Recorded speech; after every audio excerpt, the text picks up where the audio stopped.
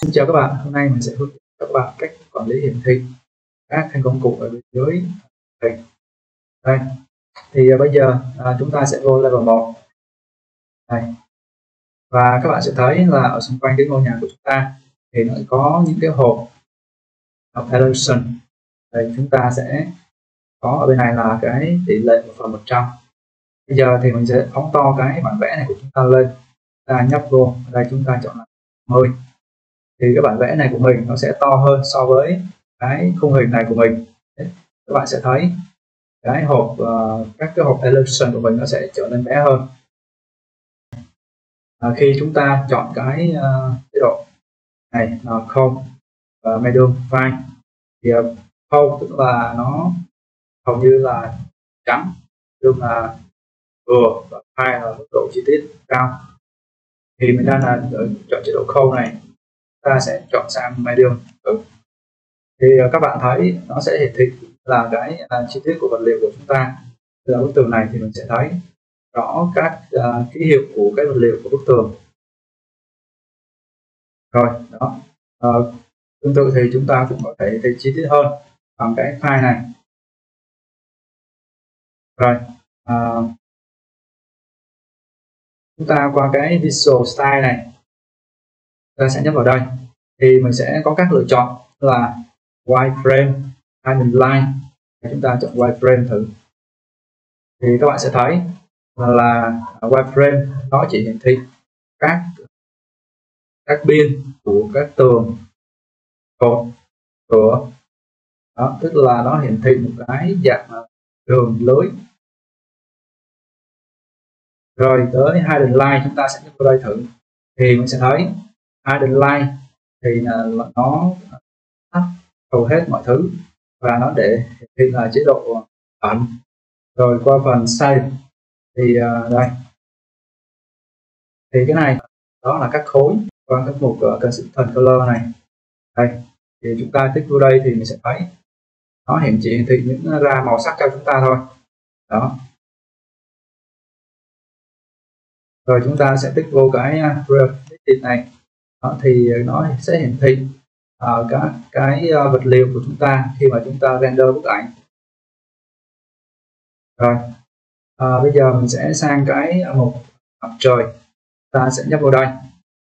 Hoặc là chúng ta cũng có thể ở trên này. Thì um, như cái mục uh, chi tiết ở đây này. Đây thì mình cũng có thể tích ở trên này. Ta để tích trên này để chúng ta lựa chọn các kiểu ở trên này. Đó. Thì nó cũng uh, hiển thị ra cho chúng ta rồi uh, và bên này là cái mặt trời của mình thì ví dụ mình cũng có thể tích ở đây. Đó, chúng ta tích vô đây. Đấy thì sẽ thấy mặt trời của chúng ta uh, nó sẽ xuất hiện ra hoặc chúng ta cũng có thể tắt đi bằng cách chúng ta sẽ chọn vô ở đây. Đây, đây chúng ta sẽ tắt ở đây. Đây chúng ta nhấn vô sun path off thì mình tắt hoặc là mặt trời ở đấy rồi bây giờ mình sẽ đi sâu hơn. Vô cái Essence Setting à, thì các bạn sẽ muốn kiểm, uh, ờ, quản lý hiển thị. Ví dụ như là chúng ta sẽ quản lý cái mặt trời này thì là mình muốn đặt nó làm ở phía bên này thì chúng ta sẽ làm như thế nào? À, đặt ở phía bên này như thế nào? Bên này hoặc bên này thì nó sẽ như thế nào? Đó hoặc là mình muốn uh, uh, vô chuyển nó vô mùa xuân hoặc là mùa hè hoặc mùa đông chẳng hạn. Đó hoặc là mình có thể thấy vô một cái ngày nào đó hoặc là một tháng nào đó hoặc là mình muốn đưa cái à, công trình của mình vô một cái vị, vị trí nào đó để cho chúng ta xác lập được cái thời gian cái thời tiết à, của cái công trình của chúng ta nó trở lên thực tế hơn. Rồi thì bây giờ mình tích vô cái uh, mặt trời ở đây. Ta sẽ nhấp vô sân setting rồi vô cái bảng sân setting này thì uh, đây chúng ta sẽ có still thì để mình hiển thị một cái ngày nào đó. Đây thì nó cũng có cho chúng ta lựa chọn các mùa đấy. Ta sẽ ví dụ là chúng ta à, chọn vô summer đó mùa hè. Và chúng ta chọn mùa đông và chúng ta chọn mùa xuân và mùa thu. Rồi vị trí thì chúng ta sẽ à, uh, nhấp vào đây à. ta nhấp vào cái bài trống này để chúng ta cập nhật cái vị trí của chúng ta. Và chúng ta sẽ gõ đây là nó yêu cầu chúng ta phải có internet này. Đó phải có internet. Thì ví dụ như là chúng ta ở à, Minh thì mình sẽ gõ là Hồ Chí Minh. Và chúng ta sẽ ờ, chọn vô ờ, cái cái đề nghị của nó cập nhật cái vị trí của chúng ta đó, trong cái bản đồ này. À, hoặc là chúng ta cũng có thể này nó có cái đến nét này đó thì chúng ta thích vô đây thì chúng ta cũng có thể chọn các cái thành phố nó đã mặc định ở trong này cho chúng ta. Thì ở đây thì mình sẽ thấy có một city ở đây. Ta sẽ nhấp vô cái này đấy mình nhấp sổ xuống thì mình sẽ thấy có nhiều cái thành phố để cho chúng ta có thể lựa chọn. Rồi ta sau khi chúng ta sẽ chọn được cái phố của mình ta đưa cái thành phố cái uh, ngôi nhà của chúng ta với vị trí phố thì chúng ta nhấp vào ok. Nó yêu cầu internet. Thì thì được. Và tiếp theo là đến ngày tháng. Đây thì uh, chúng ta click vào cái ở đây này. Ví dụ là chúng ta muốn thay đổi ở đây là ngày 22 ta muốn đổi tới ngày 30 thì chúng ta sẽ tiếp vô đổi sang ngày 30 cho chúng ta. Và thời gian ở đây. Đó. Đó, mình có thể tăng giảm thời gian ở đây. Rồi đây là chế độ ờ, ta là chế độ một ngày. Ngày thì um, ở đây á chúng ta cũng uh, chọn về cái địa điểm tương tự như thế. Gian cũng tương tự như thế. Ngày như thế còn giờ thì chúng ta có thể chỉnh vào đây. Từ mấy giờ tới mấy giờ. Đó rồi ờ, cái ờ, uh, row này thì mình sẽ chọn là cái uh, mặt trời. Của chúng ta nó sẽ chiếu vô cái ở level mấy là mạnh nhất. Đó nó sẽ tập trung ánh sáng vào đó. À, mình từ đây thì mình sẽ là cái uh, hiển thị trong nhiều ngày. Đó cũng có chúng ta cũng có chọn ở đây là chế độ nhiều ngày này. Đó thì mình sẽ chọn từ uh, ngày bao nhiêu tới ngày bao nhiêu đó. Rồi uh, từ thời gian từ mấy giờ tới mấy giờ. Đấy và chúng ta cũng có uh, thể lựa chọn các màu cho nó. Đó. Ở cái uh, chiếu chiếu sáng. Đấy, ở đây thì uh, ta ví dụ như là chúng ta chọn cái này đi. Sunlight rồi nhấn ok thử này. Ok. Ta sẽ bật cái mặt trời lên sun back on này. Rồi. Ta sẽ bật cái shadow này lên này. Đó, shadow. Và cái bóng của mặt trời đây mình sẽ bật cái bóng mặt trời để cho các bạn có thể biết được. Giờ mình sẽ sử dụng cái à, uh, sun này á. Như thế nào? Đây ví dụ uh, chúng ta uh, chọn là right. Nó sẽ chiếu từ bên phải này chiếu qua cho chúng ta. Hoặc chúng ta chọn là left. Đây left apply này. Thì nó sẽ chiếu từ bên trên và từ trái qua cho chúng ta. Đấy. Đó là về cái quản lý về mặt trời. Còn nếu mà các bạn muốn tìm hiểu sâu hơn ít hơn uh, chuyên nghiệp hơn thì các bạn có thể tham gia khóa học của mình để trong đó mình sẽ nói rõ hơn về cả chế độ mặt trời này. Đấy. À, và bây giờ mình sẽ làm một cái mặt trời cho các bạn để các bạn có thể thấy được cái mặt trời trong cái ngôi công trình của chúng ta trở nên uh, thực tế và sống động hơn. Thì bây giờ thì à, ở đây chúng ta sẽ không thấy được mặt trời tại vì mình chưa có bật cái uh, sân bát lên chưa chọn cái ngày tháng cho nó để chế độ hiển thị cho nó và chúng ta sẽ chọn vô cái sun setting này. Đó, ở đây ví dụ là mình sẽ chọn một vô một cái ngày nào đó rồi chúng ta sẽ apply. Đó ok.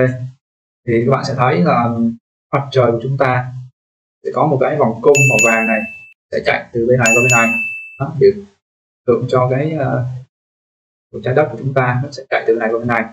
Và đây là mặt trời của chúng ta là cái màu vàng đây. Đó thì các bạn sẽ thấy này cái mặt trời chúng ta nó sẽ chiếu xuyên vô đây thì ánh nắng của mình á, thì nó sẽ đi từ bên này thì xíu xuyên qua bên này đó. Rồi thì cái mặt trời này của chúng ta à, chúng ta cũng có thể nhấp vào nó đây. Ta có thể thay đổi cái vị trí đó. Ta thay đổi cái vị trí cho nó đó.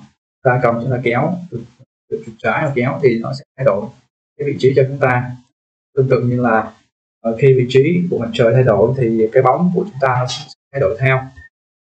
Rồi thì uh, bây giờ mình sẽ có một cái mục tiếp theo. Ở đây mình sẽ thấy cái bóng của chúng ta bóng của công trình của chúng ta ở đây. Ta sẽ qua cái biểu tượng bên phía bên này là shadow on. Thì chúng ta đang là bật bóng đổ lên. Thì bây giờ chúng ta sẽ tích vô cái shadow on này. Đó thì mình sẽ thấy nó có một cái dấu x của shadow on này á, thì ta sẽ thấy là cái à, bóng mặt trời của chúng ta nó sẽ bị mất đi đó là chúng ta sẽ tắt được cái bóng của, của mặt trời. Rồi. À, còn về cái à, cài đặt về cái mặt trời này của chúng ta cập nhật về cái thời tiết ở tại công trình này á thì chúng ta lưu ý là phải xác định được đúng cái à, hướng của ngôi nhà của chúng ta. Đây là chúng ta có các hướng ở đây này. Nó có bốn hướng. Đó mình phải xác định đúng cái hướng của ngôi nhà của chúng ta so với cái bề mặt công trình này nó sẽ hướng về một cái hướng nào đó. Đó rồi tiếp theo. Thì, uh, trong sân setting này thì chúng ta phải uh, cập nhật đúng cái vị trí location này. Đó, thì nó mới đưa cái à, ngôi nhà của chúng ta về cái vị trí uh, nơi mà cái chúng ta muốn đặt. Đó cái thời tiết chúng ta muốn lấy. Đó, thì uh, ta phải chú ý cái đó. Cái thời tiết của nó mới trở nên chính xác. À, cái này là chúng ta sẽ nhấp vào đây. Đây, đây là một cái công cụ render. Thì công cụ render này thì sẽ nói trong các video tiếp theo. Video này mình sẽ không nói vì nó rất là dài. Rồi xong à, sang một là drop này drop chúng ta sẽ tiếp tục drop. Đây chúng ta sẽ tắt mặt trời đi.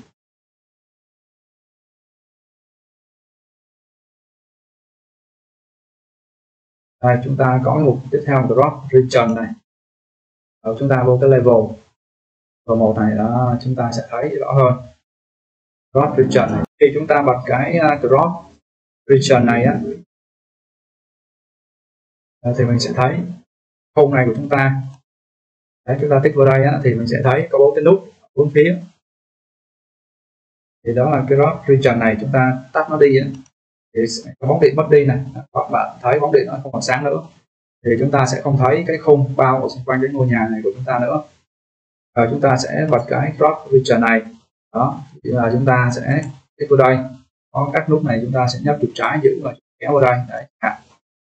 Thì à, chúng ta sẽ thấy mất đi cái à, phần ở trên bản vẽ này. Hoặc là chúng ta cũng có thể ở một bên cái property này. Đấy ta có drop view và drop section ở đây. Rồi ví dụ là chúng ta tích bỏ drop view đi. À, thì các bạn sẽ thấy cái phần mà chúng ta kéo drop section này vô thì nó sẽ không còn tác dụng nữa sẽ hiển thị cái công trình của chúng ta ra đến bên ngoài này. Ta có thể bật cái drop view ở đây bật drop view lên. Ta sẽ bỏ cái drop vision ở đây. Để động mất đi cái uh, viền bao xung quanh này. Rồi tiếp theo là cái à, này. Chúng ta à, vô 3D rồi. Ví dụ là chúng ta tích vô đây bức tường này và chúng ta sẽ chọn vô cái à, hai level này. Đó.